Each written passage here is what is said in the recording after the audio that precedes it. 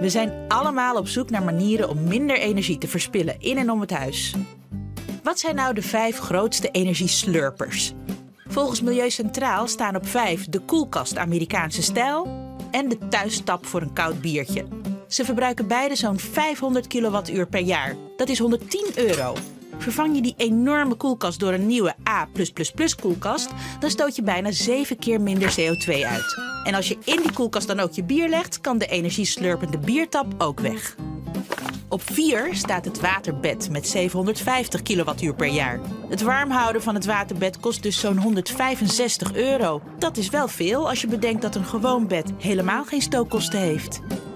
Water op temperatuur houden kost sowieso veel energie, blijkt ook uit de nummer 3 van onze energieslurper top 5. Het tropisch aquarium met 900 kilowattuur. Het verwarmingselement en de pomp van het vissenbad kosten al gauw 200 euro per jaar en leveren een uitstoot op van meer dan 500 kilo CO2.